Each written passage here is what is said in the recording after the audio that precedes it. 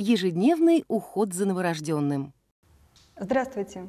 Сегодня мы вам покажем, как делать утренний туалет новорожденного. Нужно ребеночка положить ножками к себе.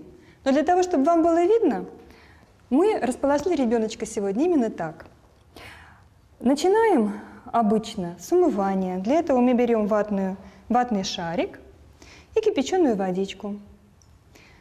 Мочим хорошо ватный шарик в водичке и моем ребеночку лицо. Протираем ему лобик и носик, подбородочек, щечки, за ушками протираем. Потом мы берем еще два тампончика, немного намочим их в воде, чтобы они были полусухие, и протираем глазки от наружного угла ко внутреннему.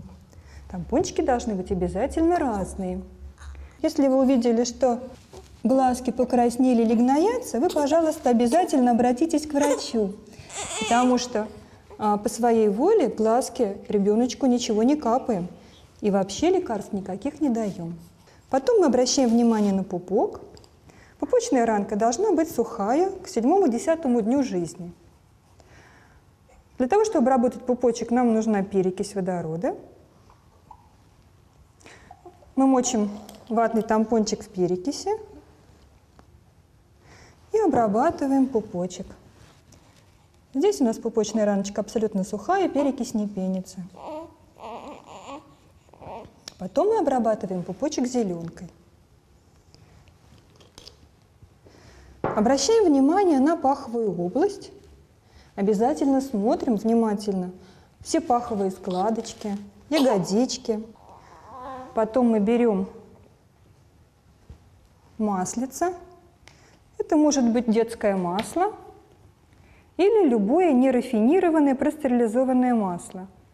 Мы смачиваем маслом ватный тампончик и тщательно обрабатываем все естественные складочки. Паховую область, ягодички и под коленочками – и подмышечные складочки. Можем поменять тампончик. Обязательно шею.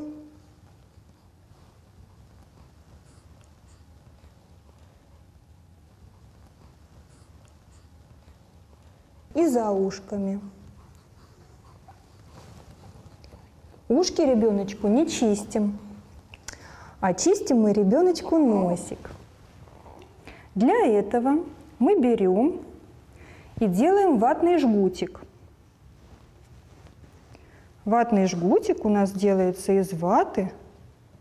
Немного смачиваем маслом, скатываем жгутик.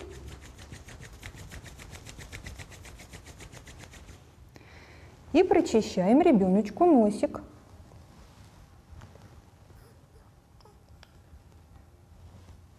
Или двумя разными жгутиками, или, как я сейчас сделала, двумя концами одного жгутика. Если у ребеночка шумное дыхание и кажется, как будто он хрюкает, тогда нужно закапать в носик капельки с морской водой и воспользоваться грушей.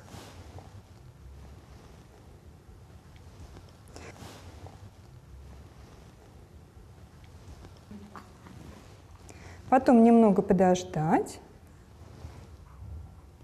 И можно воспользоваться вот такой грушей для того, чтобы отсосать ребеночку слизь. Вот так и вот так.